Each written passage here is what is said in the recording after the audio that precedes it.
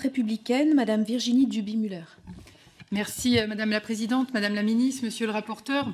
Cette proposition de loi organique répond à une urgence, celle d'assurer un financement solide, transparent et pérenne pour un service public de l'audiovisuel dont le bon fonctionnement est essentiel à la bonne santé démocratique de notre pays. Les défis sont nombreux. Face à la transformation de nos usages et au bouleversement du paysage médiatique depuis l'arrivée des plateformes numériques, notre audiovisuel public doit être capable de s'adapter, d'innover et répondre aux attentes des Français, tout en restant fidèle à ses missions de service public, informer, éduquer, divertir et garantir un accès à la culture pour tous. Sous votre impulsion, Madame la Ministre, ce sont des travaux que nous avions débutés avant la dissolution et je tiens à ce titre à saluer l'engagement de nos anciens collègues Jean-Jacques Gauthier et Quentin Bataillon. Le 23 octobre dernier, le Sénat a adopté à la quasi-unanimité ce texte avec 339 voix sur 340 votants. Cette proposition de loi a été présentée par nos collègues sénateurs Cédric Vial, Catherine Morin-de-Sailly, Roger Carucci et Laurent Lafont. Elle répond à la question euh, posée par la suppression de la redevance télé en 2022. Comment garantir un financement indépendant et pérenne à notre audiovisuel public sans déroger à notre cadre légal? En effet, substituer la contribution à l'audiovisuel public par une fraction du produit de la TVA était contraire aux dispositions de l'article 2 de la LOLF.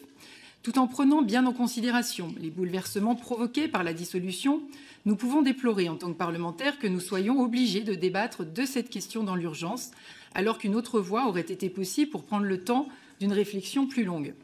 Rappelons que la suppression de la contribution à l'audiovisuel public était envisagée dès 2017 et la suppression de la taxe d'habitation à laquelle elle était rattachée. Je salue votre volonté, Madame la Ministre, pour trouver une solution en concertation avec le Parlement. Ainsi, si nous sommes là, euh, comme je le disais, c'est que ce texte répond à ce besoin. Le dispositif simple adopté en première lecture au Sénat garantit, et c'est crucial, l'indépendance des médias publics. Pour être conforme avec euh, l'article 2 de la loi organique du 1er août 2001 relatif euh, aux lois de finances, il est nécessaire d'adopter ce projet maintenant. Sans cela, le financement de l'audiovisuel public reposerait sur le budget général de l'État. Ceci aurait pour conséquence de remettre directement en cause l'indépendance des médias concernés et serait contraire à la Charte des droits fondamentaux de l'Union européenne et à la jurisprudence du Conseil constitutionnel sur les garanties de l'État envers l'audiovisuel public. Enfin, j'aurais une question pour vous, Madame la Ministre, pour notre groupe.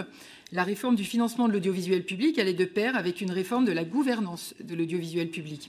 Souhaitez-vous voir revenir à l'ordre du jour cette réforme que nous jugeons comme vous nécessaire? Et si oui, sous quelle forme et selon quel calendrier? Pour conclure, c'est donc sans réserve que les députés du groupe La droite républicaine voteront pour ce texte issu pour bonne part des travaux de notre formation politique qui apporte une réponse concrète, équilibrée et indispensable un problème qui devenait urgent. Je veux enfin insister sur la nécessité d'avoir un vote conforme sur cette loi et formule le vœu que euh, le même esprit de responsabilité qui a guidé nos collègues de l'opposition au Sénat nous anime également aujourd'hui. Je vous remercie. Merci, chers collègues. Pour le groupe écologiste et social, Jérémy Jordanov.